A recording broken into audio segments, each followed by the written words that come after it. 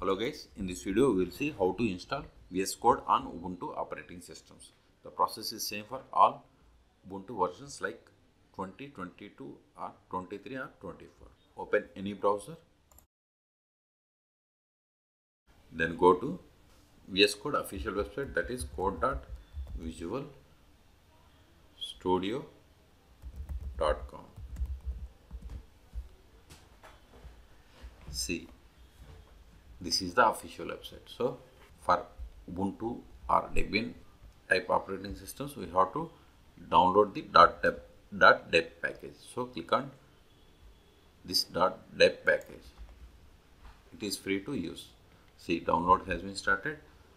See its size is 95 megabytes. Wait until this download completes. See download has been completed. Now open terminal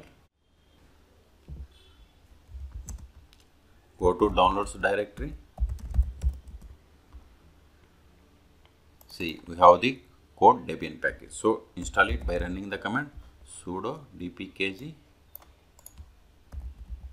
hyphen i code hit enter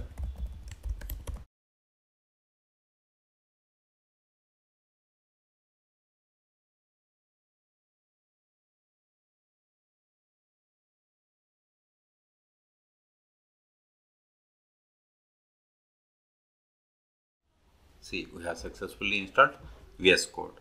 Now go to show applications. Go right. See here we have the Visual Studio Code. Click on Visual Studio Code or in the terminal type code and hit enter. Okay. You want to add extensions? Click on extensions. See zero installed wait it is populating all the extensions. See the most popular is python. Click on install to install python. And we have the n number of extensions okay? Even if you are unable to find here you have to search here okay? So in this video we have seen how to install vs code on ubuntu operating system. For more videos please subscribe my channel. Thank you